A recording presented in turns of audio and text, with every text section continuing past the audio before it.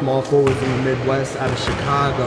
Now he just came off a huge summer with uh, Mac Irvin Fire. Talk about what it's like playing with a program with such tradition. You know, um, it's pretty fun because you play with all the top players. You play against the top players, so it makes you want to go play hard every time, make yourself get better. I mean, as an individual. Okay, now when I see you play, I mean, obviously for the small forward position, you got to be versatile and you can score inside and out. But that inside game, you look really comfortable, you know, with your footwork, you know, with just all, all your post moves and all that, and you, you're very efficient. Is that something you take pride in? Yes, um, I have to take pride in that because that's what I have to do more for my high school team than I had to do for, for AAU. So I come in and try to put more work into the post because I know I can knock down jump shots if needed. But I know my team need me more in the post now for the high school season. Okay, so you kind of got a more versatile role, would you say, than at the, at the college level, at the AU level, you know, as opposed to high school? Yes. Okay.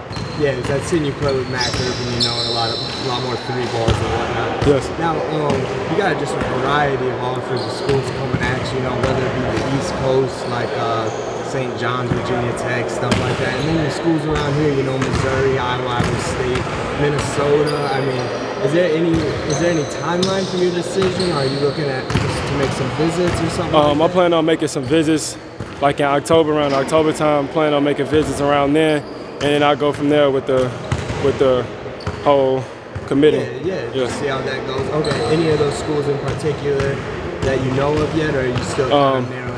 I'm not sure. Yeah, I'm still kind of narrowing the list down right now. Okay, that's cool. And then, uh, you know, is there anything that's really gonna play a major factor in your commitment process? You know, like what you see in a school or a program? Um, a coach that I really built, have built a relationship with, and a coach that tells me that if I go there, I can play. If I work hard to earn my position. Okay.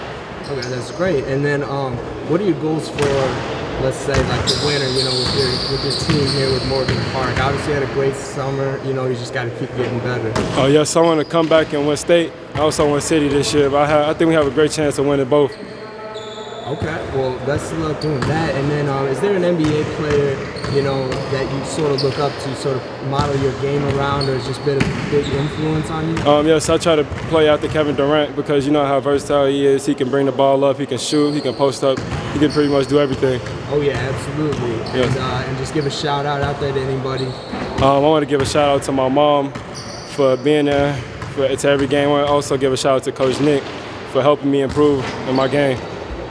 Appreciate you taking the time.